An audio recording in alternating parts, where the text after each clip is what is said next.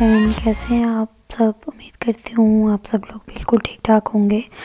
तो फ्रेंड, आज मेरे पास ये कुछ बचे हुए कपड़े हैं तो मैं उनके साथ आपको क्रंचीज़ बनाना बताऊँगी इजी वे में। तो उसके लिए आपको आपके पास जो भी एक्स्ट्रा कपड़े हों, वो आप ले सकते हैं। उसकी लेंथ और जो विर्थ है, वो आप अपने हिसाब से ले लें। मैंने इसकी लेंथ जो है थर्टी ली है और इसकी विर्थ जो है, वो मैंने फोर इंचज़ ली है, लेकिन अगर आप उसको डबल करते हैं तो फिर टू इंचज़ हो जाएगी। और ये मेरे पास दो तरह के कपड़े हैं, और ये है शमूज़ का। ये कपड़ा है शमूज़ का, इसका वो बनाना भी आसान है, और ये बालों के लिए भी आपको पता है कि सिल्क और ये इस टाइप का जो कपड़ा होता है, वो बहुत अच्छा होता है, और जब वो आप उसको अपने बाल, बालों को आप हेयर फॉल से भी बचा सकते हैं।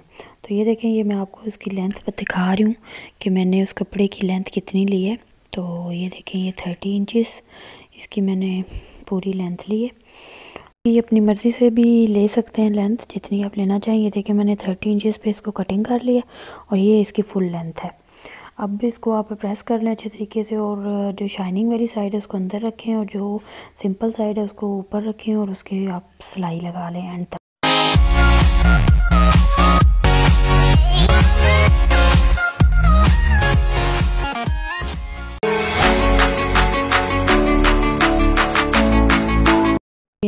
आपने आखिर तक सिलाई लगा ली और आपने आखिर से इसको ना थोड़ा सा छोड़ देना ताकि वो बाद में उसको जब बंद करना तो प्रॉपर तरीके से वो बंद हो जाए। अब आप इस कपड़े को सीधा कर लेंगे।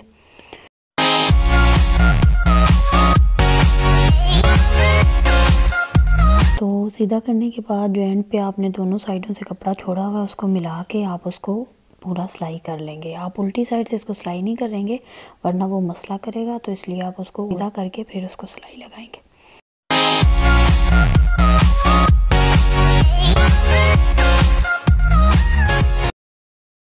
जो बाकी क्रंचेज़ हैं, उनको भी मैं इसी तरह से प्रॉपर तरीके से सिलाई लगाऊँगी और उनके एजेस उनको सिलाई करके तो फिर आपको मुकम्मल करके दिखाती हूँ।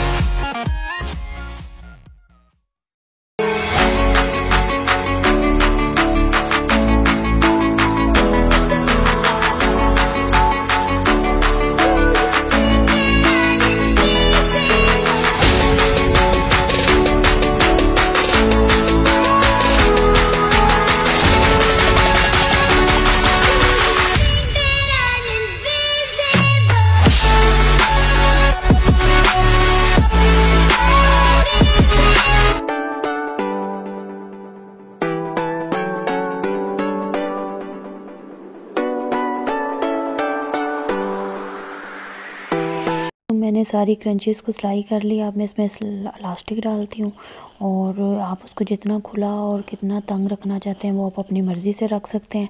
आप जब उसमें इलास्टिक डालेंगे तो उसके बाद उसको गिरा लगाने से आपको पता चल जाएगा कि आपको उसको कितना खुला रखना। वो तंग रखना है, वो आपका अपना अंदाज़ा है। तो वैसे आप इंचज़ के बगैर साथ भी उसको देख सकते हैं। आपको जो आपकी फुल लेंथ होती है क्रंचेस की, कपड़े की, आप उसका चौथा हिस्सा जो है वो आप अपने इलास्टिक का ले सकते हैं। तो वो आपके लिए इजी तरीका होगा उसको पैमाइश करने का। बाकी आप उसमें डाल के और उसको फिर गिरा लगाने से भी आपको अंदाज़ा हो जाएगा कि आपको कितना उसका रिक्वायर है इलास्टिक जो है। तो आप उस तरीके से प्रॉपर उसको एडजस्ट कर सकते हैं।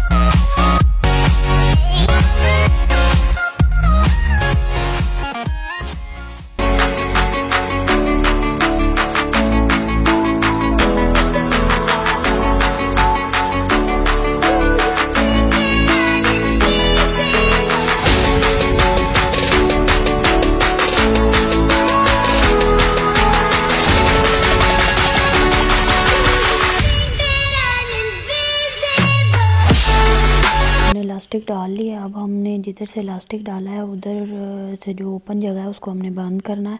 तो मैं सुई धागे से उसको क्लोज़ करने लगी हूँ।